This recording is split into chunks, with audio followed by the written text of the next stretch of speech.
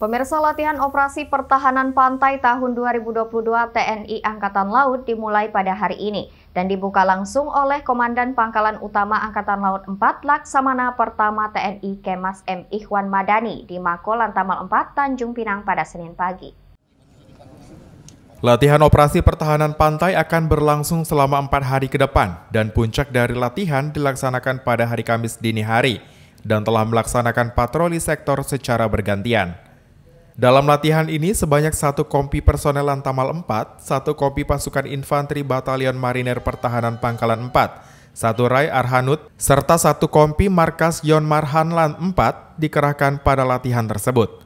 Latihan ini bertujuan untuk meningkatkan kemampuan dan profesionalisme prajurit TNI AL di bidang operasi pertahanan pantai, menyamakan pola pikir, sikap, tindak, dan menguji doktrin dalam pelaksanaan operasi keamanan laut, serta bertujuan untuk bersiap menghadapi kekuatan musuh. Dan ini merupakan tugas dari Lantamal 4 untuk selalu memelihara uh, kesiapan mereka, profesionalisme mereka sebagai prajurit uh, marinir yang salah satu tugasnya adalah uh, untuk melaksanakan operasi pertahanan pantai.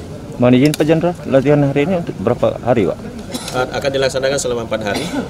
puncaknya nanti pada hari Kamis. Jadi pada hari Kamis itu kita skenariokan pada saat itulah uh, musuh uh, akan uh, mendarat di pantai dan itu sudah disiapkan tahapan-tahapannya. Tim Liputan GoTV News melaporkan.